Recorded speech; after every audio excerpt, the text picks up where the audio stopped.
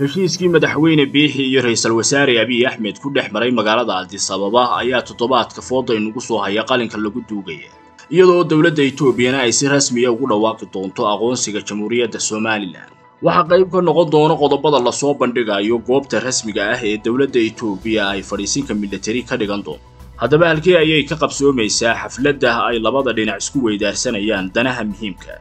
Warbixinteennan ayaynu ku falaqaynaynaa sida ay ilo xogogaal u xaqiijiyeen warbaahinta xogogaal dowladda etoobiya iyo somalilan ayaa wejigii labaad heshiiska kala saxeexanaya. Labada guddi farsamo ee addis ababa iyo hargeysa ka kala socday ayaa soo lafaguray heshiiskani nooca oo noqon doono iyo wejigiisa labaad sida loo kala saxeexan doono iyo weliba goobta ay xafladdu ka dhacayso. Arrimaha la isla meel dhigayna waxaa qayb ka noqonaya fadhiisinka milatari ee dowladda etoobiya ee xeebaha somalilan ku yaallaa meesha uu noqon doono taasi oo si weyn loogu jaahwareersanaa labadii bilood ee ugu dambeysay iyada oo etoobiya iyo somalilan aanay marnaba si rasmiya u shaacin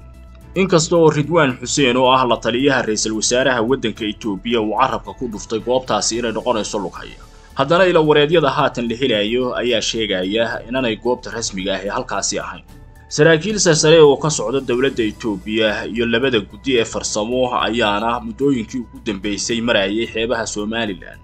kuwaasi oo qiimaynayay goobta fadhiisin milatari u noqon doonta dowladda etoobiya ra'iisul wasaare abiy axmed ayaa ku gacan saydhay wadahadal uu ka dalbaday madaxweynaha waddanka soomaaliya xasan sheekh maxamuud. Kaasi oo ay dhexdhexaad ka ahayd dowladda kenya hase yeeshee sidii la rabay aan u qabsoomin. Madaxweyne xasan sheekh maxamuud oo ku dadaalayay sidii uu isu hortaagi lahaa heshiiska somalilan iyo etoobiya muddooyinkii ugu dambeysay ayaa sameeyey milan siyaasadeedkaasi oo aan wax macnaa uga samayn hadafkii uu lahaa iyo damiciisii ahaa dowladda etoobiya inay isaga la xaajooto toddobaadka fooda inugu soo hayana waxaa ra'iisul wasaare abiy axmed uu ku soo wajahan yahay sida ilawareedyo hoose ay warbaahinta xogogaal u xaqiijiyeen. Magaalada hargeysa isaga iyo wefdi ballaadhan oo uu hogaaminayo halkaasi oo loogu talagalay inay xafladda kala saxeexashada wejiga labaad ee is-afgaradka ka qabsoonto magaalada berbera ee xarunta gobolka saaxil iyadoo ay ka qaybgeli doonaan madaxda somalilan mucaarad iyo muxaafid kuwaasi oo muujinaya midnimada somalilan. Iyo sida ay ugu qanacsan yihiin hadafkan saddex iyo soddonkii sannadood ee ugu dambeysay loo soo xusul duubayay oo haatan gacanta lagu dhigay. Goobta rasmiga ah ee ay dowladda etoobiya ka dhigan doonto fadhiisinka milatari ayaa ilo wareedyo hoose waxa ay sheegayaan inay noqon karto ceel sheekh